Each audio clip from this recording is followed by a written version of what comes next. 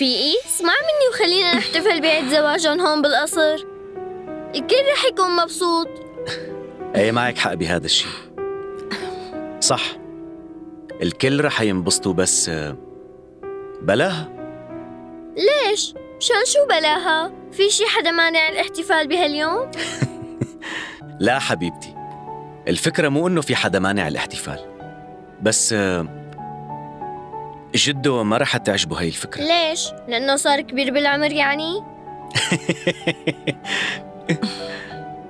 مين يلي قال لك هالحكي؟ ماما ميتيلا قالت لي إنه الناس لما يكبروا بالعمر ببطلوا يحتفلوا بزواجهم هلا آه، ياش ما حدا بهذا البيت فكر يحتفل بعيد زواجه من قبل؟ يعني أنتوا ولا مرة حكيتوا بهذا الموضوع؟ هلا الكل بيعرفوا شو السبب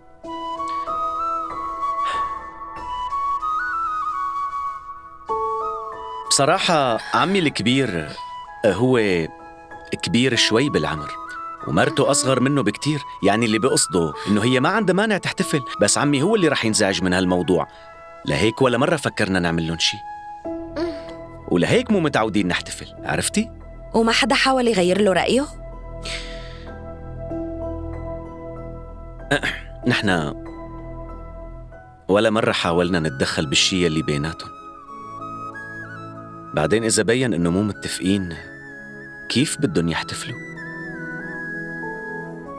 يعني نحن ما فينا نجبر حدا يحتفل غصب عنه يعني أنا كنت مسافر وبعيد عنه مشان يمكن. بحياتهم ما رح يفكروا يحتفلوا إذا نحن ما احتفلنا فيهم وكيف نحن بدنا نحتفل فيهم؟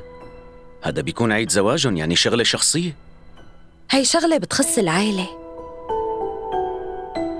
ونحن لازم نحتفل فيهم ياش انتو صرتوا عم تحكوا عن شي غير ذكرى زواجهم لا مو هيك القصة. نحن عم نحكي عن الفكرة تبعك. إيه بس هي المناسبة كتير مهمة بالنسبة للكل رفيقي. إذا ما بدك تيجي معي مشان نحكي مع جدو رح روح حاكي لحالي. باري. ياش.